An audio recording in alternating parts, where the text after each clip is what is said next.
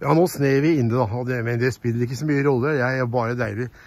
Og nå er det ingenting som funker. Veier funker ikke, ingen eh, kommunale tjenester funker. Ingenting funker. Det er bare den gamle, gode telefonkiosken som funker. Så nå skal jeg gå inn og så skal jeg ringe til eh, kommunens måketjeneste.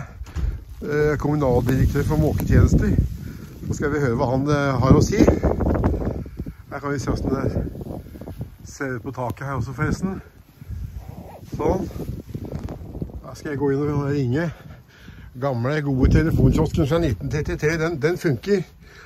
Alt annet funker ikke. Da går vi inn.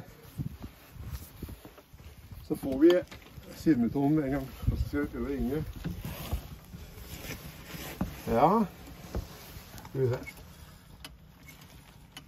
Skiva funker. Alt funker her.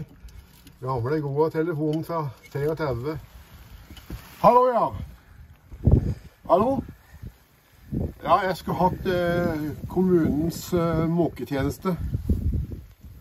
Ja, vi kommer ikke ut, men det gjør ikke noe. Men eh, Jo, det gjør noe. Men eh, hvor tid eh, kan vi få måkt her? Kan vi regne med de neste eh, fire dagene, eller? Klarer det da? Du skal sette meg over til kommunen... Ja, til, til kommunaldirektør for måketjeneste, ja.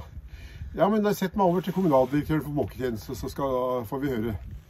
Fine greier. Da snakkes vi. Ha det bra.